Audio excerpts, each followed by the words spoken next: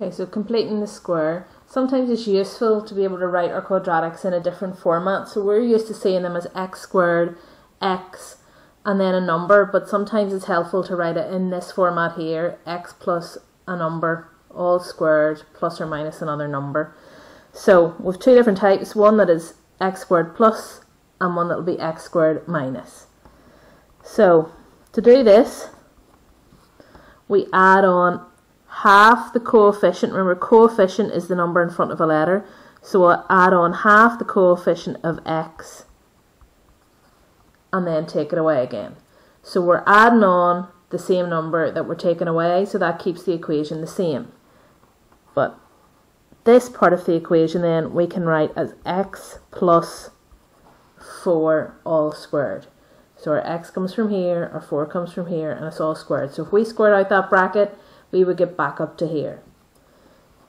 We've got minus 4 squared, so it's minus 16. Now it's subtract 4 squared. It's not minus 4 all squared, so be careful of that. So it's minus 4 squared minus 5. So we can write that as x plus 4 all squared minus 21. Okay, our second one then, x squared minus 9x plus 2. We do this in exactly the same way, there's only just one minor change.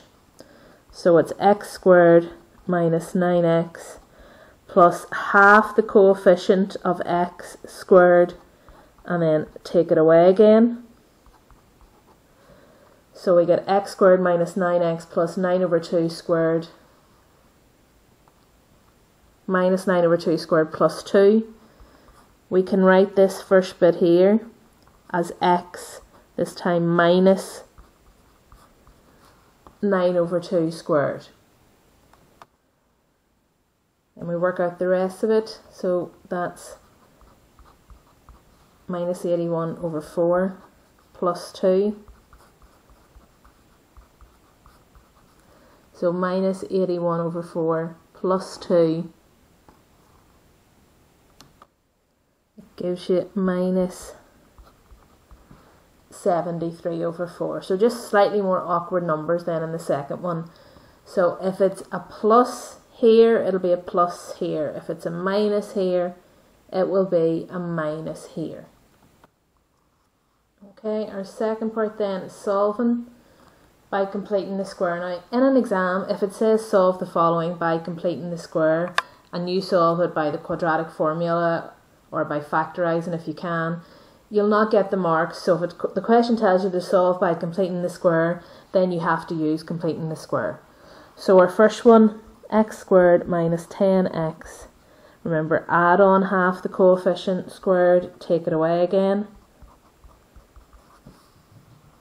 This part here becomes x minus 5 all squared minus 25 minus 4. So this is the same as the first lot. And we get x minus 5 all squared minus 29 equals naught. So I'm going to bring the 29 across to the other side. I'm going to take the square root of either side, which means we'll lose the squared here. And remember, when you take the square root of something, it should be a plus or minus for your answer. And then we're going to take our minus 5 over and make it a plus 5. So we can write our answers as 5 plus and minus the root of 29. And you don't have to simplify it any more than that. Okay, so our next one, x squared plus 7x plus 1 equals 0. So we get x squared plus 7x plus 7 over 2 squared minus 7 over 2 squared plus 1 equals 0. So we can write that as x plus 7 over 2 squared minus 49 over 4 plus 1 equals 0. So that becomes x plus 7 over 2 squared minus 45 over 4 equals 0. I'm going to then take this across to the other side and it becomes 45 over 4. Take the square root of both sides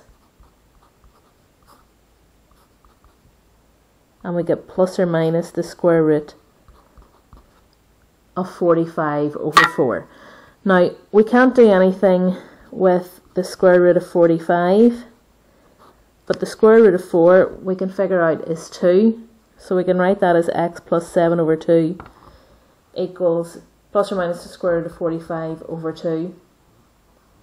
Then I'm going to bring the plus 7 over 2 across and it becomes minus 7 over 2 plus or minus the square root of 45 over 2. And just to make it look a bit nicer and to tidy it up, so obviously 2 is our common denominator, we can write it as minus 7 plus or minus root 45 over 2.